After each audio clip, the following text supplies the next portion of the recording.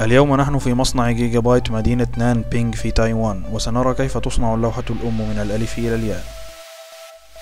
اللوحة الأم تتكون من العديد من المكونات جميعها يتم تركيبها على لوحة الدوائر المطبوعة PCB لتصبح اللوحة الرئيسية التي نعرفها جميعا في الحواسيب تصل ال PCB من مصنع آخر وأول خطوة في تصنيع اللوحة الأم هي لحام جميع المكونات السطحية أو SMDs SMD هو مصطلح يعني Surface Mounted Devices وهي أي قطعة على اللوحة ليس لها إبر على الجهة الأخرى. مثل مختلف الشرائح صوت ساتا بايوس وشريحة اللوحة نفسها المقاومات وغيرها. كل جزء من ال PCB سيتصل بمكون آخر يتم تغطيته بمعجون لحام خاص. معجون اللحام يلعب دور الغراء لكل الرقاقات قبل ذهاب اللوحة إلى الفرن للحام النهائي.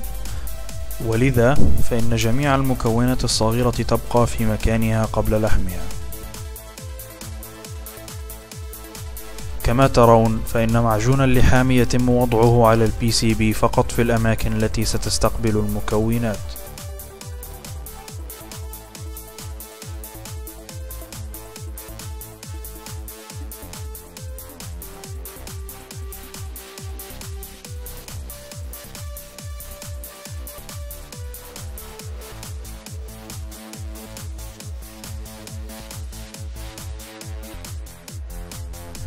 جميع اللوحات الأم اليوم عليها العشرات من ال SMDs الرفيعة والصغيرة جدا التي يتم وضعها مباشرة على اللوحة.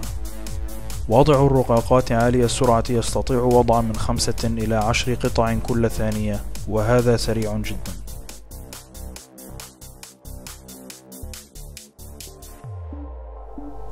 معظم المكونات هذه التي يتم وضعها من خلال الآلات يصل عرضها إلى واحد ملم فقط ويجب وضعها بدقة تامة على ال PCB اللوحات الأم اليوم عليها مكونات على كلا الجانبين.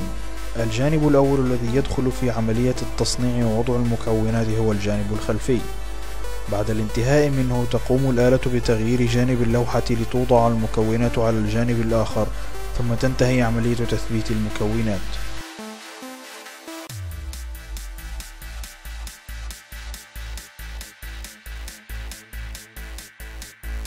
بعد الانتهاء من وضع المكونات الصغيرة يتم التوجه إلى الشريحة ومقبس المعالج وجميع الرقاقات الأخرى التي تمكن اللوحة من العمل. قبل وضع الرقاقات على اللوحة يتم التحقق من كل رقاقة من خلال أنواع مختلفة من الضوء للتأكد من أنه لا توجد أي مشاكل مع نقاط اللحام أو وضع الرقاقات.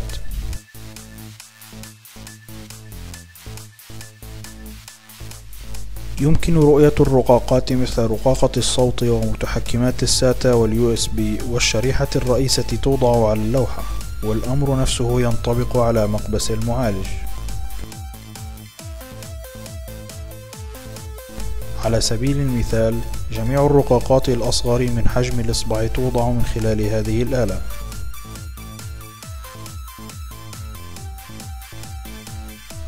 بعد وضع المكونات السطحية على اللوحة أصبحت اللوحة جاهزة لدخول الفرن للبدء بعملية اللحام. معجون اللحام ينصهر بفعل درجة الحرارة العالية داخل الفرن مما ينتج عنه التصاق المكونات باللوحة. درجة الحرارة تصل إلى 245 درجة مئوية خلال مرور اللوحة بالمستويات المختلفة. في هذه المرحلة تصنع الوصلات الكهربائية والميكانيكية.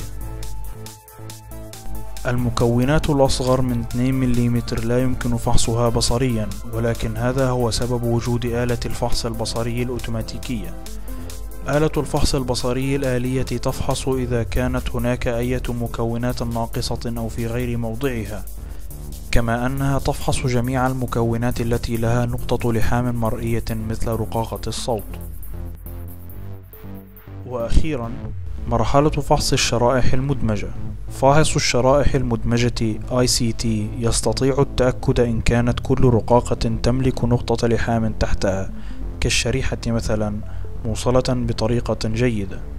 تقوم الآلة باختبار توصيل الرقاقة ولحامها ولكن ليس إن كانت الشريحة نفسها تعمل.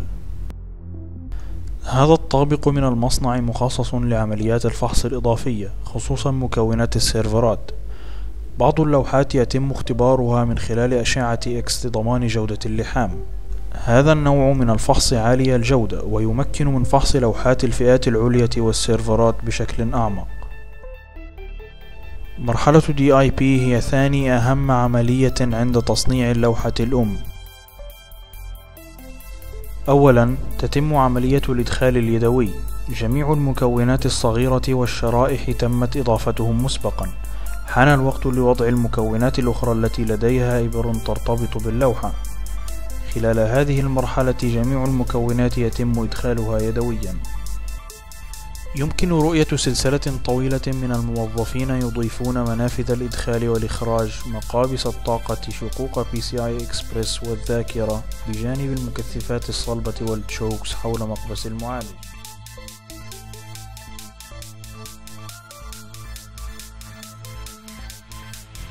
قبل لحام المكونات نهائيا على اللوحة.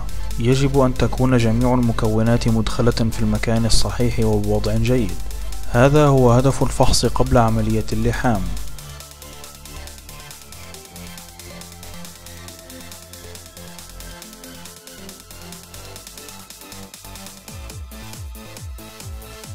آلية عملية اللحام الموجية بسيطة.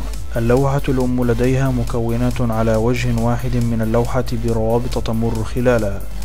آلة اللحام تقوم بلمس الجزء الخلفي من اللوحة فتلتحم الروابط وتلتصق المكونات باللوحة الأم.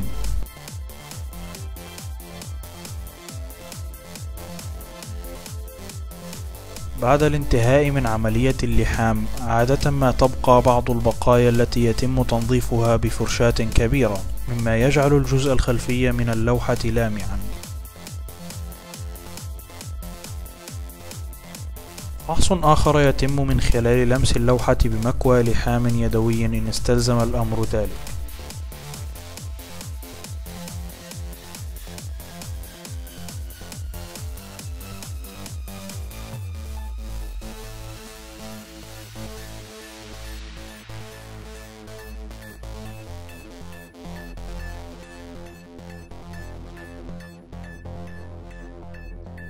توضع مشتتات الحرارة على اللوحة قبل عملية فحص أخرى من خلال فاحص الرقاقات المدمجة ICT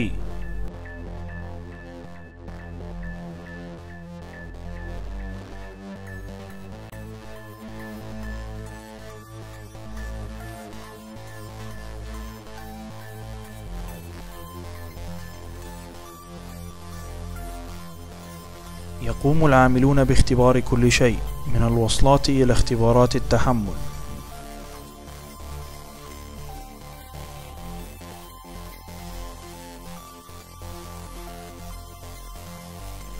ال function box يسمح بتشغيل وإيقاف المكونات بسهولة بجانب الأجهزة الطرفية لإغراض الاختبار. كجزء من اختبارات جيجا بايت الصارمة للجودة كل اللوحات تخضع للاختبارات. ويتم التأكد من الوظائف الأساسية للوحة. حالما تجتاز اللوحة كل الاختبارات وفحوصات الجودة ترسل إلى المرحلة التالية التعبئة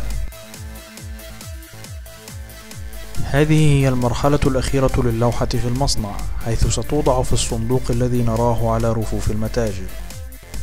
الصندوق في المصنع ما هو إلا لوح ورق مقوى. يأخذ شكله بسرعة في آلة مخصصة لذلك. يقوم العاملون بإلصاق الباركودز والأرقام المرجعية على الصناديق ويضعون اللوحة ثم يتم فحص الأرقام المتسلسلة. اللوحة صارت شبه جاهزة. الإكسسوارات الإضافية مثل كتيب التعليمات أقراص التعريفات والكوابل تضاف ثم يغلق الصندوق. كل صندوق يوضع في صندوق أكبر للشحن. ثم توزن تلك الصناديق وتربط لترسل إلى المتاجر. وهكذا ينتهي هذا الفيديو. وبهذا تعرفتم على طريقة تصنيع اللوحات الأم في مصنع جيجا بايت في نان بينغ بتايوان. أتمنى أن تكونوا قد استمتعتم بهذا الفيديو من Overclocking TV ترجمة عرب هاردوير guys, Truffman from Overclocking TV and we are in the Gigabyte factory and we just found something very crazy. Come on. One, two, three, four.